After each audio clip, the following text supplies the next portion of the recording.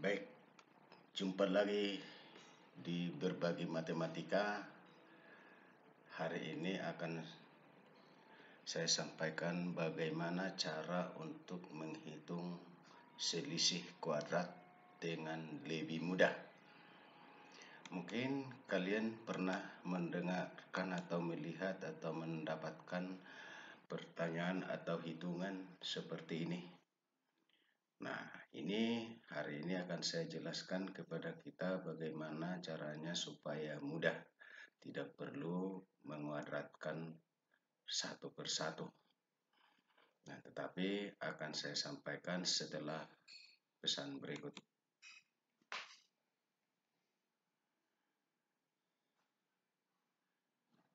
Baik, kita akan bahas. Maka rumus yang kita pakai adalah jika kita temukan A kuadrat kurang B kuadrat sama dengan kita ubah jadi A tambah B kali A kurang B.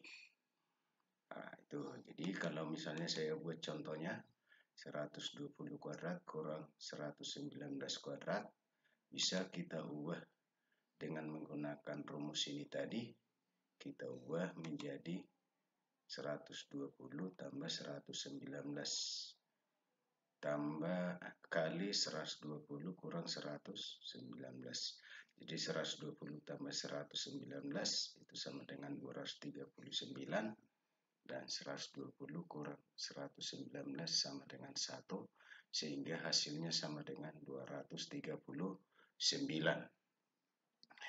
kemudian kita buat contoh yang lain. Kalau 122 kuadrat kurang 121 kuadrat ya maka kita ubah dulu dengan rumus cara yang mudah tadi yaitu dengan 122 tambah 121 dikali 122 kurang 121 sehingga 122 tambah 121 kita peroleh 243 dikali 1 berarti hasilnya 100 243 oke kita lihat dulu yang mau lewat ini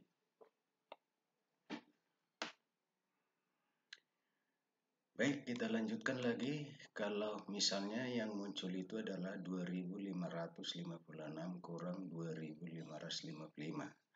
Nah, sesuai dengan rumus yang mudah tadi, kita ubah dulu menjadi 2556 tambah 2555 dikali 2556 kurang 2555 sehingga 2556 tambah 2555 hasilnya 5111 kali 1 jadi hasilnya 5111 nah kemudian kita lihat contoh yang lain misalnya kalau 3211 kuadrat kurang 3210 kuadrat maka bisa kita selesaikan dengan mudah dengan menggunakan rumus yang tadi. Yaitu maka kita ubah dulu menjadi 3211 tambah 3210 dikali 3211 kurang 3210 sehingga hasilnya sama dengan 3000 6421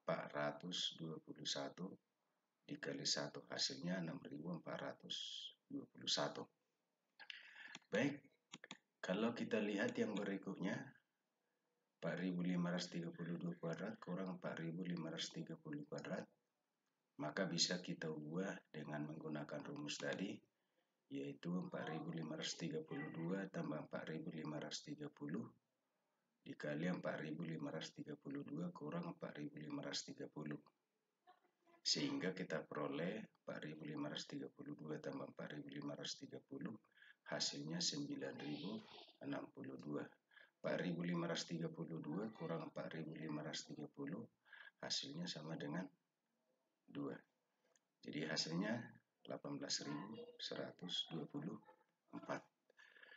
nah, nah itu aja dulu untuk hari ini. Kita lihat dulu ini. Adik-adik kita tetap semangat dan tetap belajar ingat rumus cara yang mudah tadi. Itu aja dulu untuk hari ini. Sampai jumpa di pertemuan yang berikutnya.